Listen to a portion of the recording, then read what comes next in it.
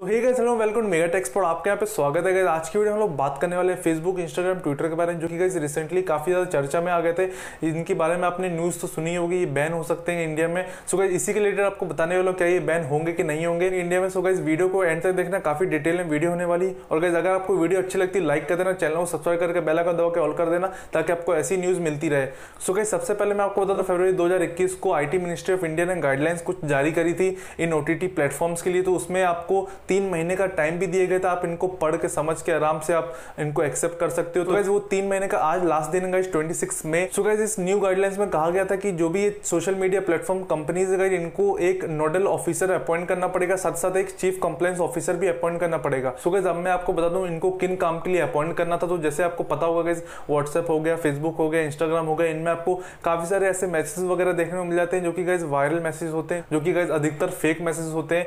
साथ साथ आपको एक वायलेंस भी क्रिएट करते हैं तो इन सब चीज़ों को कम करने के लिए और आखिरकार कौन ये मैसेज वगैरह फैलाता है, उसके तक पहुँचने के लिए आपको अपॉइंट करने थे। चीफ जो भी इन सब चीज़ से रिलेटेड आपको कंप्लेंट्स वगैरह आती हैं तो इनको आपको 24 फोर आवर्स के अंदर रजिस्टर करना था। सद गाइज़ इनका 15 दिन के अंदर सोल्यूशन भी निकाल के देना था। और गाइज़ जो भी चीफ अपॉइंट करने थे, उनको हर महीने आईटी मिनिस्ट्री ऑफ़ गवर्नमेंट को एक रिपोर्ट सेंड करनी थी, क्या आपको कंप्लेंट्स वगैरह आई किनका सोल्यूशन मिला कि नहीं मिला, उनके तक पहुँचे कि नहीं पहुँचे। तो गाइज़ ये सब चीज़ों के लिए अपॉइंट करना था चीफ सो गाइज़ ये सब चीज़ें चल रही थी और अभी तक किसी ने भी इसको अपॉइंट करा नहीं है, साथ साथ किसी ने भी एक्सेप्ट नहीं किया है। सिर्फ़ गाइज़ एक कंपनी जिसका नाम है कू उसने एक्सेप्ट कर ली गाइडलाइंस वगैरह, और साथ साथ उसको कोई प्रॉब्लम नहीं होने वाली है। और गाइज़ साथ साथ फेसबुक का भी रिस्पॉन्स आया था इसके ऊपर, अभी कुछ दिनों पहले उसने कहा था कि हम लोग इसके ऊपर वर्क कर रहे हैं, हम लोग इसको एग्री करेंगे।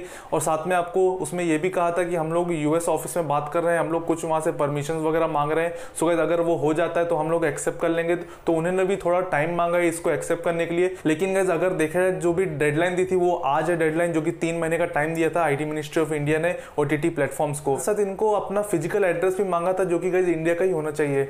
अब आपको बता दूँ गाइज़ ये बैन हो सकती है कि नहीं हो सकते तो आपको पता ही गाइज़ काफ़ी ज़्यादा बड़ा यूज़र बेस है गाइज़ इंडिया का, जो कि गाइज़ फेसबुक हो गया इंस्टाग्राम हो गया ट्विटर हो गया, इन सब का काफ़ी बड़ा यूज़र बेस है, जो कि गाइज़ वो लोग खोना नहीं चाहेंगे, इनको आज नहीं तो कल एग्री करना ही पड़ेगा। जो भी बड़े बड़े जो सेलिब्रिटीज हैं, वो सब काफ़ी ज़्यादा एंगेज रहते हैं इन सब चीज़ों में इंस्टाग्राम हो गया।